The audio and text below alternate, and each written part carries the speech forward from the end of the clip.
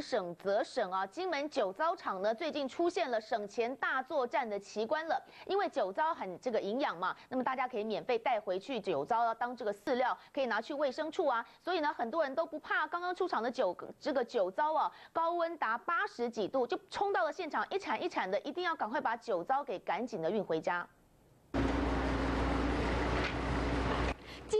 的声音震耳欲聋，热烟不断冒出，代表新一批的酒糟马上要出炉，民众已经迫不及待。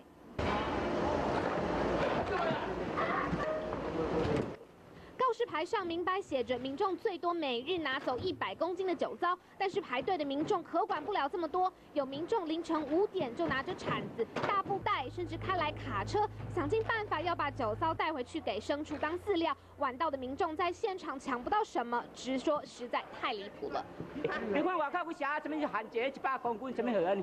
太离谱了！爱都亲像蒙太酒的时是那么生产量较少嘛，对不？那金门的一般的农牧业者。这些牛只、羊只，它就会依赖酒糟来过冬，啊，所以一般冬天每一年酒糟就会比较不够。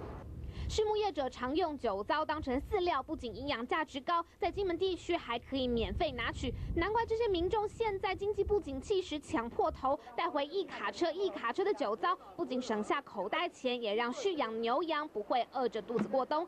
现在酒糟厂已经协调，在过年前两天全面开放民众进来酒糟厂拿取，避免民众冒着高温又抢破头。中联新闻李俊龙、陆怡珍金门采访报道。